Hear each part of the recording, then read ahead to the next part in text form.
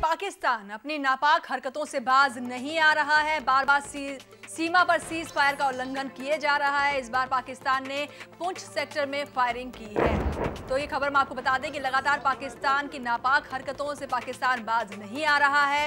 रिहायशी इलाकों को कभी निशाना बनाया जाता है, कभी बीएसएफ कैंप को निशाना बनाया जाता है, कभी बीएसएफ के वाहनों को निशाना बनाया जाता है। लेकिन अब एक बार फिर से नापाक हरकत पाकिस्तान की तरफ़ से की गई है। फिर से सीज फायर का उल्लंघन किया गया है पाकिस्तान की तरफ़ से।